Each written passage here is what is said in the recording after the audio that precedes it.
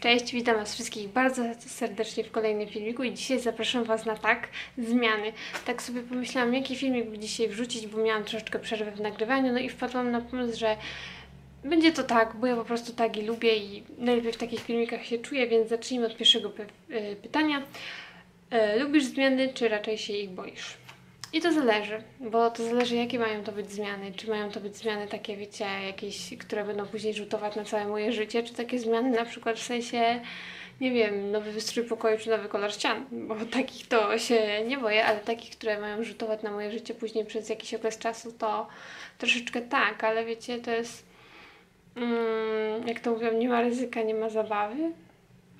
Nie, no coś w tym stylu, po prostu wydaje mi się, że Zmiany są potrzebne i czasem trzeba na to spojrzeć nie tak. Um, znaczy, ja ostatnio przeszłam trochę zmian w życiu, na przykład choćby ta wyprowadzka do Niemiec, ale uważam, że to była dobra decyzja i nie żałuję jej. Była trudna, ale na pewno była dobra.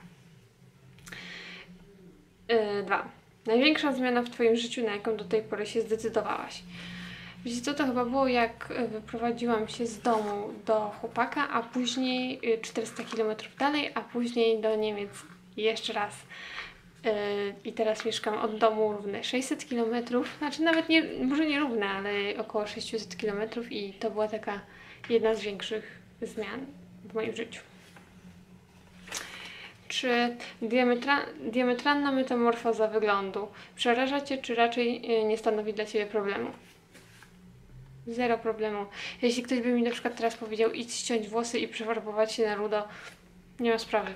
Mnie takie rzeczy nie przerażają. Ja, jeśli chodzi o zmiany wyglądu, bardzo lubię, więc mogłabym już iść teraz. Bez żadnego zastanowienia i nawet nie było mi żal tych długich włosów, choć mam już je prawie, wiecie, dość długie. Prawie dość długie. Tak, ja się tak wysławiam. Yy, dość długie. To nie bałabym się na przykład, jeśli ktoś by mi powiedział do ramion albo nawet krócej. Nie, nie bałabym się, po prostu lubię zmiany wyglądu. Cztery. Yy, który element swojego wyglądu zmieniłabyś najchętniej? Chyba nos. Mam taki trochę kompleks na temat nosa, ale to jest taki, wiecie, z jednej strony on wygląda ok, yy, z, a z drugiej tak średnio, ale to też jest teraz, że ja noszę okulary, więc tego tak nie widać. No i te okulary trochę tak jakby mi ten yy, mój kompleks yy, maskowały, więc nie źle, więc na tą chwilę nie ma takiej rzeczy, którą chciałabym zmienić. Jest, wydaje mi się, że jest ok. No, pięć.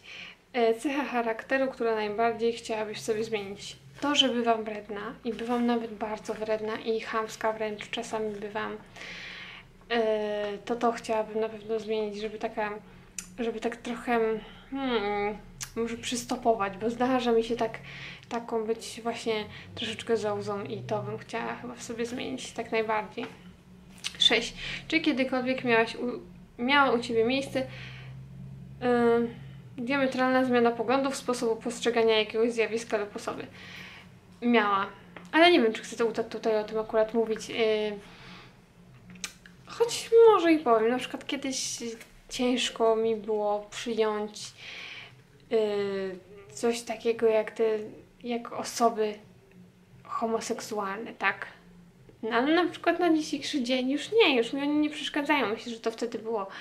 Bo to wiecie, to, to się w ogóle świat się zmienił. Kiedyś tego ludzie nie akceptowali, dzisiaj to jest normalne i może to też z tego wynikało, że kiedyś jakoś nie miałam, nie, to nie było, że jakoś, wiecie, nienawidziłam ich i nie chciałam się z nimi spotykać ani zadawać czy coś takiego, yy, bo tego nie było, ale po prostu nie mogłam tego jakoś zrozumieć, a dzisiaj z czasem już mi to w ogóle nie przeszkadza i niech każdy robi co chce, byleby tylko był szczęśliwy.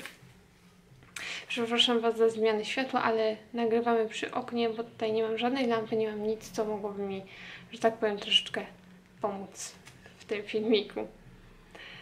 Yy, I 7. Ile razy w swoim życiu zmieniałaś pracę? I jeśli o to chodzi, no to to yy, ja nie miałam nigdy takiej jednej stałej pracy.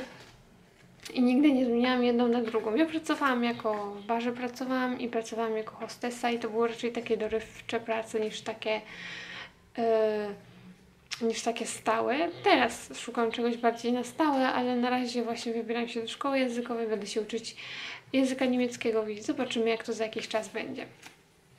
8. Z którą... Mm, tak? 8. 8, tak. Z którą... Yy, z, z którą znaną osobą zamieniłabyś się na kilka dni? Nie wiem. Nie wiem, naprawdę nie wiem. Nie mam pojęcia, z kim bym się chciała zamienić. Na tą chwilę nie wiem. Może jakąś księżniczką bym chciała być na jeden dzień. Choć wiem, że one takiego życia nie mają, takiego jak, jak kiedyś. Bardziej to jest teraz taki tylko po prostu tytuł. Ale może na kogoś, kto ma trochę więcej kasy, żeby wiecie, sobie gdzieś pojechać, coś zobaczyć. No, wydaje mi się, że, że może tak. 9. Jaką zmianę zaobserwowałaś u siebie w ciągu ostatnich lat? Kurczę, wiecie, trochę inaczej postrzegam życie i tak trochę inaczej na to wszystko patrzę. Kiedyś to tak, wiecie, jakoś się tak nie przejmowałam tym wszystkim. Teraz trochę bardziej mnie niektóre rzeczy doty- dotykają.